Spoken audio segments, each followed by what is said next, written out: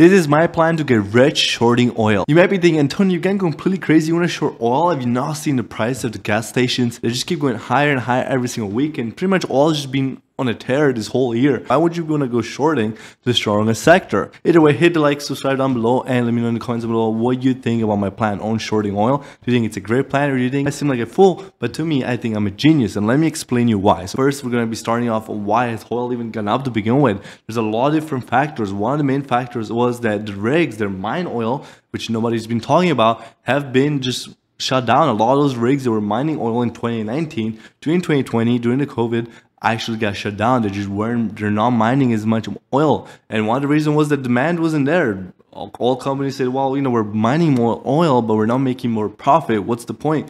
Not a lot of people are driving nowadays. Then 2020 goes by, a lot, you know, the lockdown and everything. 2021 comes around, still somewhat of a lockdown. People are starting to drive a little more, but all companies are like, well, you know what? I'm gonna just raise prices slightly rather than open up more rigs. So then there's less supply of oil, and demand slowly grows and grows and grows and grows until we get to 2022, where finally the demand is back to pre-pandemic level, and now in com combination of the Russia exports being zero, it makes the price of oil gone up and just oil companies have not opened those rigs back up. And a lot of that also comes with pressure from companies like BlackRock and Vanguard, and it's not conspiracy theory, it's actual facts, putting uh, big companies like ExxonMobil or Chevron in distress, telling them, hey, you guys gotta lower your carbon footprint. You guys are all these huge rig companies are hurting the environment. If you guys wanna keep getting our money, you gotta lower down. So they had to close those rigs and they do not plan to open that back up. At least as of right now, that might be changing.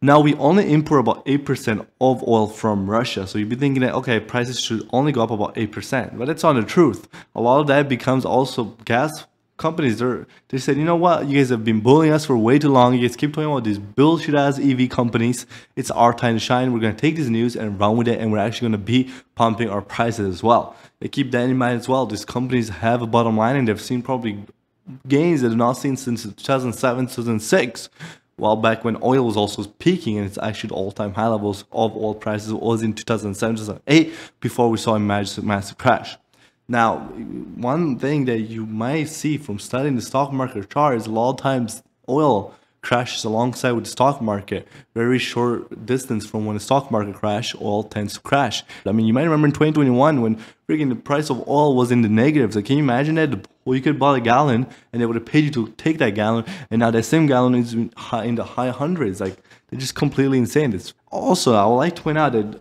oil has a huge, huge seasonality oil tends to peak in between February to April and then becomes kind of stagnant to lowers a little bit between May to July, then peaks again in August, September, October, and then usually from October back to January has a massive crash all the way to February. That's just one of the other reasons why I think oil's getting close to that topping level. I'm not saying it's going to be happening today. I do think I do. I'm going to be taking small position, but I'm going to be adding this position later in the summer because the summer months are the most uh, highest prices of the oil because more people are driving. They're not stuck inside because it's too cold. If people are cold, they don't want to go outside. But during the summer, they're like, hey, let's hit the beach. Let's go out. Let's go have a uh, couple beers at the bar. Let's just have some fun. Let's go explore. And also during the summer months, there's a lot more vacations. You got to keep in mind with the price of oil. You also get to keep take in mind the jets that are people going for vacation um, everywhere. You also keep in mind cruise ships, they do use a lot of oil. And while we're on that travel topic, another reason why oil is going up is because the travel has picked up. If you've gone to any of those airplanes lately, I travel a lot and let me tell you guys, the price of airplanes have not only just gone higher, but they're packed. I used to be able to get these first class tickets for four or five thousand dollars, no big deal. I'm chilling, I'm like, all right, I'm by myself. Now they're like 10 to 20,000 sometimes, and I go and it's the whole first class is packed. I used to never see that. So the more airplanes in the air, the more demand of oil going higher. We expect that to cooling off. If you do expect a recession, which I do think a recession is going to be coming, we're not officially in a recession. People are not going to have money to travel as much. People are not going to have money to go to do all those fun activities as much. They're not going to be ordering on Amazon as much. There's not going to be as many ships that are coming from China and India and all these other places which are going to cause the demand of oil to go down. And this is another reason why I think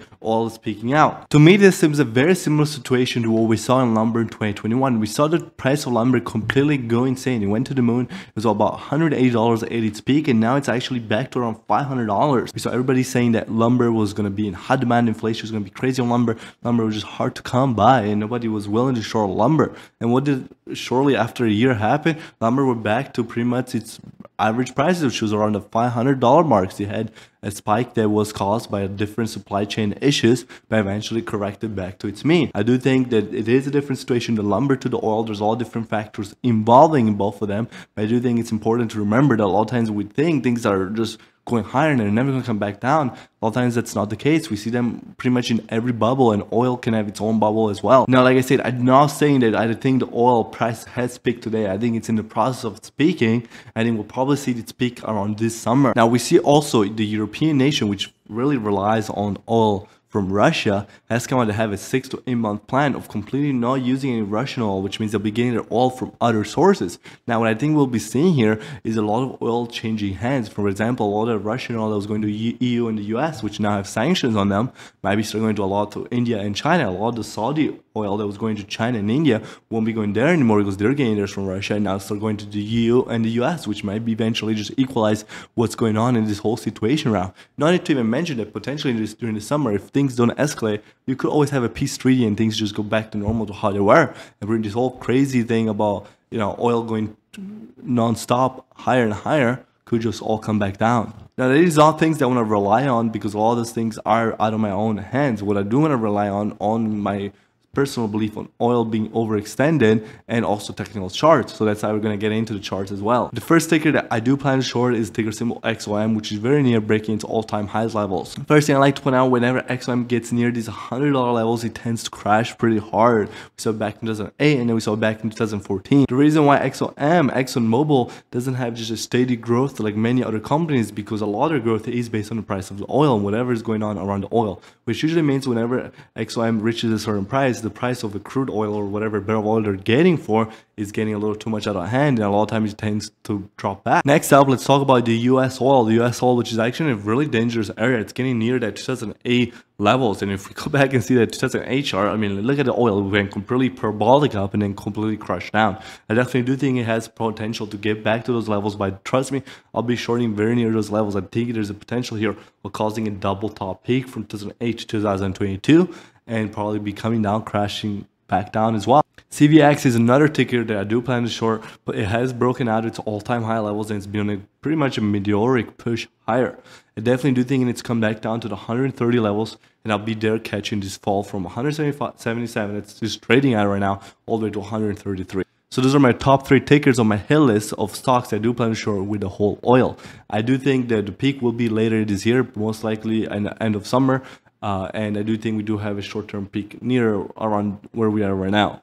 My last point I want to talk about is the financial cycle. The best time to buy oil and energy sector just in general is near the top of a bull market, which I do think we're very near, if not at the very top of a bull market run that's been running since the 2008 crash. Now, I think that this oil has had its run and it's pretty much very close to being done. And I think it's going to be on the backside of it. And once we do finally enter a recession and a really long bear market, I do think oil is going to be one of those things that really, really gets hurt. I think that we're very near the top, and a lot of things that people have been investing in oil and long-term investor, uh, big whales are going to start transitioning that oil into different sectors. But now let me know in the comments down below, do you think I'm crazy for trying to short oil, one of the strongest sector this year? Do you think I'll be the next Michael Burry and maybe in a few years when the oil crashes, maybe even negative numbers again, they'll make a movie about me and maybe I can star or I can have Johnny Depp do it for me since, you know, he did win that case after all. Remember to subscribe, leave a like, and as always, Peace.